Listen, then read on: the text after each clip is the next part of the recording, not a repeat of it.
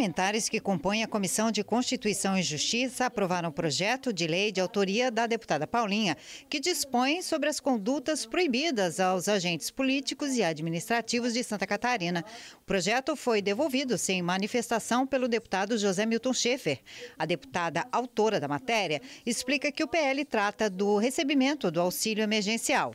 Esse projeto de lei vem dizendo que o servidor público que se apropriar, se cadastrar num programa de auxílio de renda, seja em qualquer circunstância, tendo assegurado o seu trabalho, ele vai sofrer um processo de desligamento dos órgãos públicos, porque esses casos são minoritários e os bons não podem pagar pelos ruins.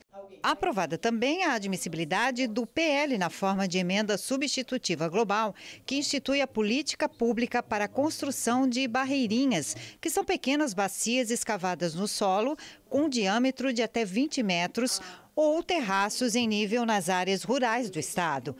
Aprovada também a admissibilidade do projeto que institui a Rota Turística do Peabiru, que é um roteiro indígena antigo. A matéria é de autoria da deputada Ada De Luca.